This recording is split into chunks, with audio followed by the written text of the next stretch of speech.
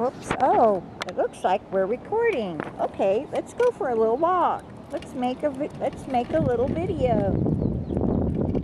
Okay, when we get inside the park, I can take Jasper off his leash. This is our neighborhood. See this big, beautiful house? And these are old. This is the historical district. Now these condos down here are not so They're, uh, everything around here is pricey. Anyway, here we've got some folks sunbathing. This is a park. They don't have playground equipment. Oops, Jasper's making me go all over the road.